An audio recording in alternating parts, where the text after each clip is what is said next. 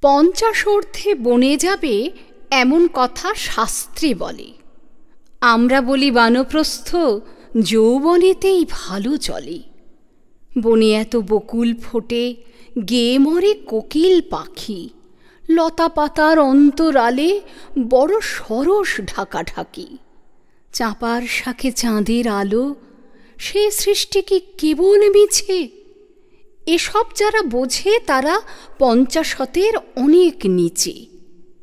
পঞ্চাশ অর্থে বনে যাবে এমন কথা শাস্ত্রে বলে। আমরা বলি বানপ্রস্থ, যৌবনেতেই ভালো চলে।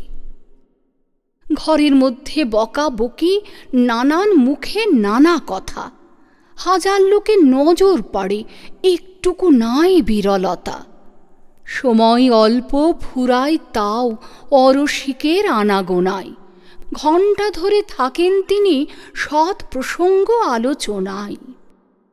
হতভাগ্য নবীন যুবা, কাছেই থাকে বনের খোঁজে, ঘরের মধ্যে মুক্তি যে নেই, এ কথা সে বিশেষ বোঝে।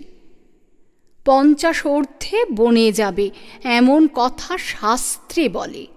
আমরা বলি বানপ্রস্থ, যৌবনেতেই ভালো চলে। আমরা সবাই নব্যকালের সভ্য যুবা অনাচারী। মনোর শাস্ত্র সূত্রে দিয়ে নতুন বিধি করব জারি। বুড়ো থাকুন ঘরের কোণে, পয়সা করি করুন জমা। দেখুন বসে বিষয়পত্র, চালান মামলা মোকদ্দমা।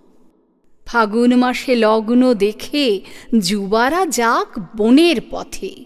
রাত্রি জেগে সাধ্য সাধন থাকুক রত কঠিন ব্রতে। পঞ্চাশর্থে বনে যাবে এমন কথা শাস্ত্রে বলে। আমরা বলি বানপ্রস্থ, যৌবনেতেই ভালো চলে।